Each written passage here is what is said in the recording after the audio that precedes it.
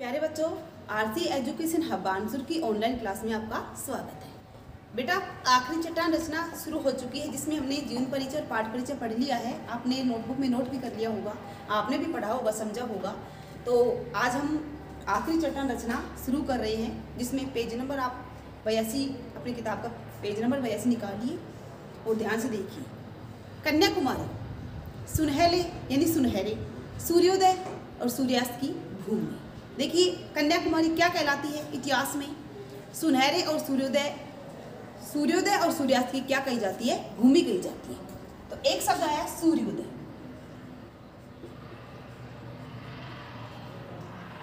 यानी सूर्य का उदय होना और सूर्यास्त होता है, सूर्य का छिपना अस्त होना। संधि विच्छेद करेंगे। सूर्य।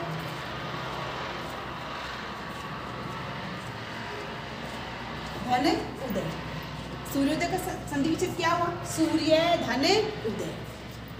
कौन सी संधि है? गुण स्वर संधि। ठीक है?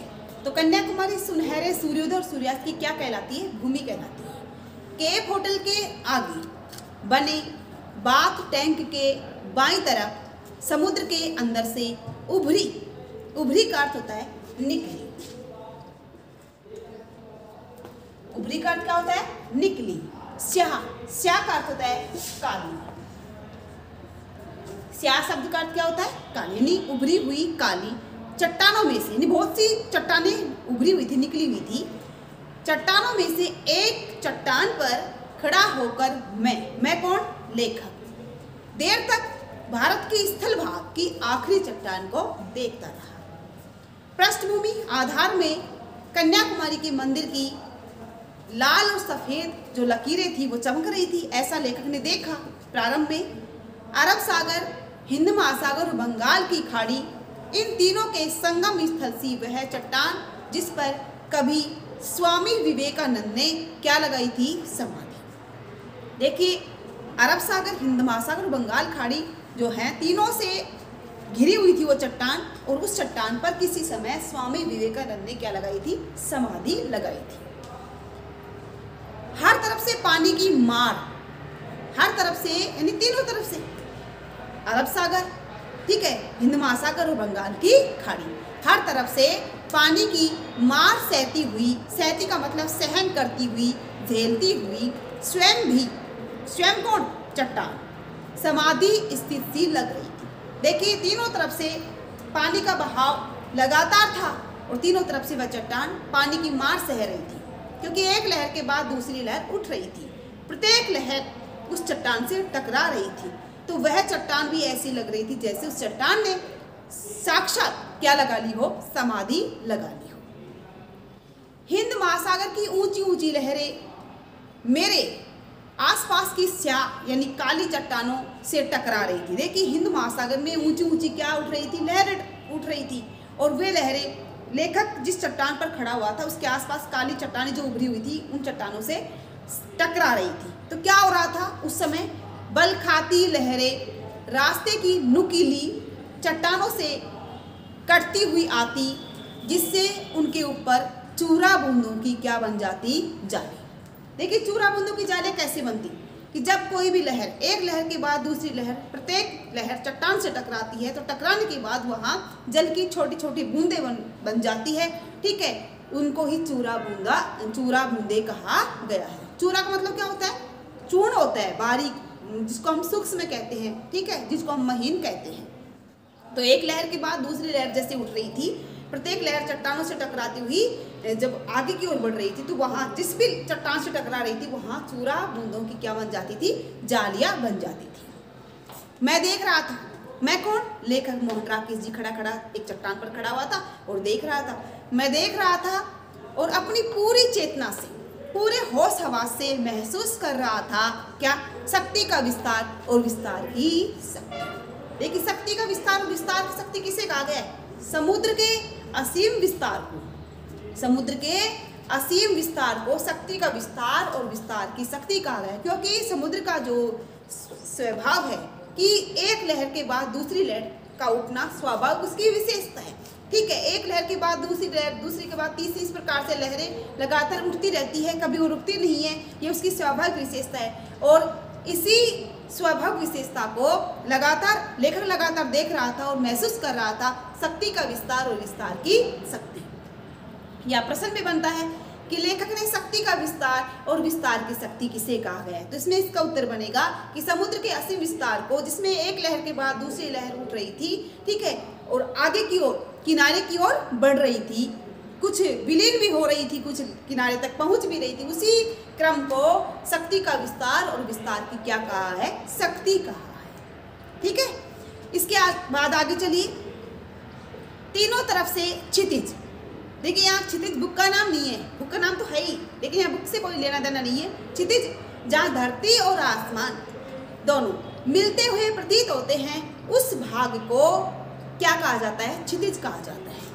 तीनों तरफ़ से क्षितिज तक पानी पानी था। यानी लहरें बार बार उठ रही थी ऊँची ऊँची लहरें तो क्षितिज तक क्या दिखाई दे रहा था? पानी दिखाई दे रहा था।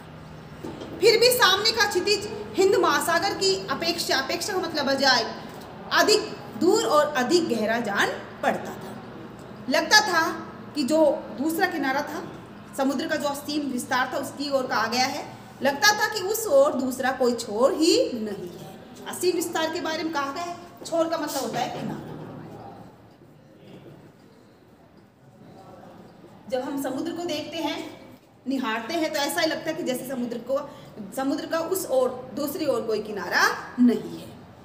तीनों ओर के क्षितिज को आँखों में समेटता मैं कुछ देर भूला रहा कि मैं मैं हूँ एक जीवित व्यक्ति, दूर से आया एक यात्री, एक दर्शक यानी लेखक खो गया था उस दृश्य में, पूरी तरह से विलीन हो गया था, डूब गया था और कुछ समय के लिए उसने होश आवास खो दिए थे और खुद को भी भूल चुका था कि मैं कौन हूँ, क्या करने आया हूँ, कहाँ से आया। उस दृश्य के बीच में जैसे दृश्य का एक हिस्सा बनकर खड़ा रहा। बड़ी बड़ी चट्टानों के बीच एक छोटी सी चट्टान जब अपना होश हुआ तो देखा कि मेरे, कि मेरी चट्टान भी तब तक बढ़ते पानी में काफ़ी गिर गई है। देखिए, इसमें कहा गया कि चट्टान धीरे धीरे जो जो और चट्टानें उभरी हुई थी वो धीरे धीरे पानी के भाव से ढक रही थी। ठीक है, पानी ने अपना सर दिखा दिया था। जैसे लेखक को होश हुआ तो देखा कि जिस चट्टान पर लेखक खड़ा हुआ है, वह चट्टान भी पानी से घिर चुकी है, खतरा बढ़ गया है, उस समय लेखक वहाँ से हटता है। मेरा पूरा शरीर सिहर गया। सिहरने का मतलब होता है कांपना। मैंने एक नज़र फिर सामने की उमड़ते विस्तार। उमड़ता विस्तार मतलब समुद्र के विस्तार के लिए कहा गया है।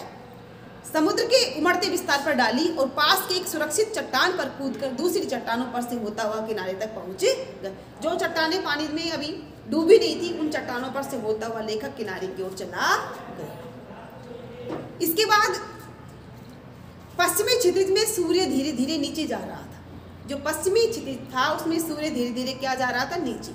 अर्थात समझ गए होंगे आप कि सूर्य छिप रहा था, अस्त हो रहा था। मैं सूर्यास्त की दिशा में चलने लगा। यानी जिस दिशा में सूर्य अस्त होता है, कौन सी दिशा होती है? पश्चिम दिशा। उस दिशा की ओर लेखक चलने क्यों? क्योंकि वह करीब, बहुत नजदीकी से, बहुत सूक्ष्मता से, बहुत बारीकी से क्या देखना चाहता था? सूर्यास्त देखना चाहता था। दूर पश्चिमी तट रेखा के एक मोड़ से पीली रेत का एक ऊँचा टीला नज़र आ रहा था। लेखक को दूर से क्या नज़र आया? एक ऊँचा टीला। सोचा, उस टीले पर जाकर सूर्यास्त देखूँगा। लेखक की तमन्ना थी सूर्यास्त देखने की तो लेखक ने सोचा कि उस टीले पर यदि मैं चला जाऊँ तो वहाँ से मैं बहुत अच्छे से, बहुत करीबी से, नज़दीकी से, ठीक है, क्या देख सकता हूँ मैं? सूर्यास्त देख सकता हूँ। अब लेखक उस रास्ते की ओर चल देता है। यात्रियों की कितनी टोलियाँ उस दिशा में जा रही थी। बहुत से लोग, बहुत से यात्री उस दिशा में जा रहे थे, पश्चिम दिशा की ओर। मेरे आगे कुछ मिशनरी युवतियाँ, कुछ नौजवान लड़कियाँ थी, मिशनरी युवतियाँ थी। मॉक्स की समस्या पर क्या कर रही थी? विचार, यानी वो भी जा रही थी। लेखक के आगे आगे, और उनका एक मुख्य बिंदु था मोक्स और मोक्स की समस्या पर वो क्या कर रही थी? चर्चा कर रही थी। मैं उनके पीछे पीछे चलने लगा। चुपके से मोक्स का कुछ रहस्य पा लेने के युवतियाँ आगे आगे थी लेखक पीछे पीछे था। लेखक सुनना चाहता था, समझना चाहता था कि मोक्ष का रहस्य क्या है। तो लेखक भी चुपचाप उन युवतियों के पीछे पीछे चलने लगा। यो उनकी बातों में से कहीं रहस्यमय रहस्यमयी, विशेष आकर्षण पैदा करने वाले उनके युवा शरीरों में था और पीली रेत की पृष्ठभूमि में उनके लबादों के हिलते हुए स्याह सफ़ेद रंग बहुत ही आकर्षक लग रही थी। देखिए, जो मोक्ष का जो टॉपिक था, मोक्ष का जो बिंदु था, उससे ज़्यादा रहस्यमयी क्या लग रहा था? उनका जो गठीला शरीर था। ठीक है युवा जो अवस्था थी वो सुंदर लग रही थी। उसके साथ ही उन्होंने जो कपड़े पहन रखे थे, वस्त्र धारण कर रखे थे। लबाद लबाद का मतलब होता है वस्त्र। ठीक है, काले और सफ़ेद, वो बहुत ही आकर्षक लग रही थी। मोक्ष का रहस्य लेखक को आकर्षक नहीं कर सका, जितना उनके लबाद, यानी वस्त्र आकर्षक कर रहे थे या उनका गठीला शरीर। मोक्ष का रहस्य अभी बीच में ही था कि लोग टीले पर पहुँच गए यानी उस जो ऊँचा टीला दिखाई दे रहा था, वहाँ पहुँच पहुँच गई। यह वह सैंड हिल थी। ऊँचा टीला जिसको क्या कहा गया सैंड हिल कहा गया सैंड बालू रेत बालू रेत से निर्मित कोई ऊँचा टीला जिसको सैंड हिल के नाम से जाना जाता है। यह वह सैंड हिल थी जिसकी चर्चा मैं वहाँ पहुँचने के बाद से ही सुन रहा था। सब लोगों ने उसकी चर्चा की और लेखक ने सुनी सैंड हिल के बारे में। सैंड हिल पर बहुत से लोग थे। पहले से लोग जमा थे, एकत्रित थे। आठ, दस नव युवतियाँ छः सात नव युवक और दो, तीन गांधी टोपी वाले व्यक्ति थे। वे भी शायद सूर्यास्त देख रहे थे। गवर्नमेंट गेस्ट हाउस के जो बैरे थे, सहायक कर्मचारी बैरे उन्हें सूर्यास्त के समय क्या पिला रहे थे? कॉफ़ी पिला रहे थे। ये उनका कार्यभार था, उनकी ज़िम्मेदारी थी।